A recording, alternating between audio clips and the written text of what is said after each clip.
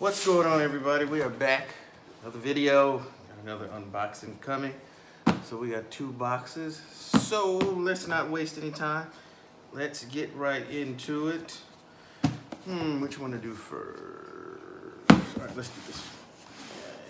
Yeah, we'll do this. All right. It's a white box. Most of you can probably, that is Paul George. Little PG logo there that. All right, let's open this boy.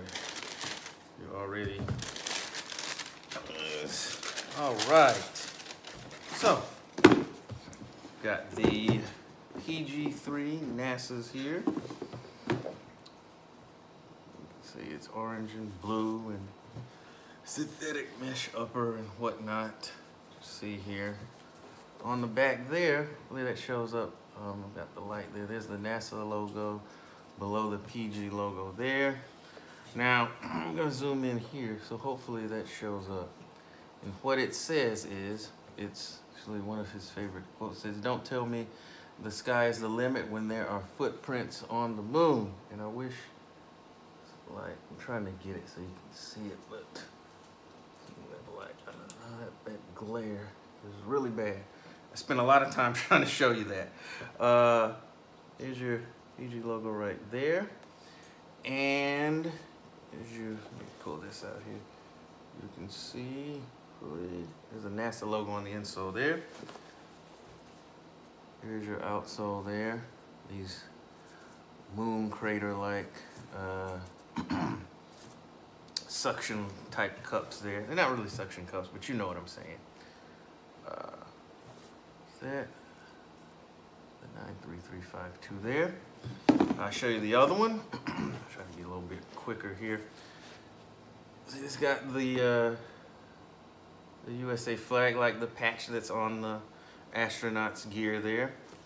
Um, and now on this one, you have the Apollo 11 launch, which if memory serves me correctly, and one of you can correct me, um, that launched from his hometown in Palmdale, I'm not mistaken. There's your logo there. And again, wrapping around the heel, it says the, the same thing here. And I apologize for the, the glare. And then here is your, your tongue there. All right, remove before flight. I shan't be removing that. so, there's that. Now, up next is the Air Jordan 5 JSP, the Varsity Royal Laneys.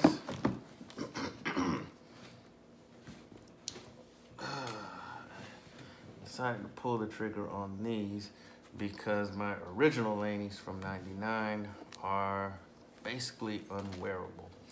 But got a nice, well, nice.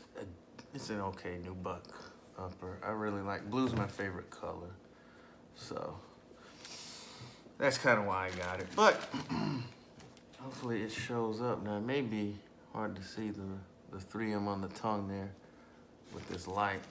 I think for future reference, I'm going to go with a slightly different lighting setup because this is actually almost too bright. But you live and you learn. There's your 23. Jumpman on the back. Clear mesh. that. And I don't know if you see inside there, but inside you've got a 23 on that insole. Okay, it says the same thing. You got a 23 there. So, have it, I'm gonna bring the camera down here. All right. So here is close up. One last view of the NASA PG3s. And I've actually, like the design of that shoe, once I actually started reading about it a little bit, I learned to appreciate it a little more. And I'm interested to see some of the um, other colorways. I did just see uh, the All-Star colorway. um, so in the right colorway, the PG3 is definitely a nice shoe.